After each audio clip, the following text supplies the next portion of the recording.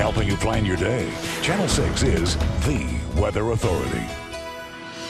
Hi, everybody. Hopefully, you're enjoying your Saturday. For the most part, today should be quiet, warm, a little bit breezy, but uneventful.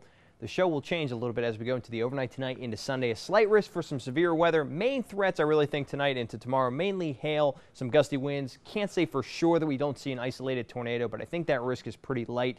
If we were to see one, it would probably be west and south of town, so I don't think it would be in the metro. But again, the main threats tonight with any stronger storms would be some hail, and it looks like that'll extend into our Sunday as well. So make sure to remain weather alert, especially tonight into Sunday. Now, the short term, we're loving life. By 12 o'clock, temperatures upper 60s to lower 70s, a mix of sun and clouds. Clouds will be on the increase, especially later this afternoon, but temperatures they don't care. They'll still warm up nicely into the upper 70s, close to 80 degrees. By 9 o'clock this evening, most of your early evening plans are okay. It's after 9 o'clock that we could see an isolated shower or thunderstorm, especially west and south of town. Then as we get into the overnight period, I do expect a little bit better coverage, especially in and around the metro. Tomorrow morning could see some showers, maybe a little bit of hail associated with that. We get a break in the action as we approach the noon hour tomorrow. Then as the, enter, the atmosphere energizes itself into the afternoon, we'll see te uh, temperatures into the 70s and once again some widely scattered showers showers and storms will be possible as we work our way into the second half of Sunday. Once we get through Sunday, the severe weather should be done, but it looks very unsettled Monday through Wednesday,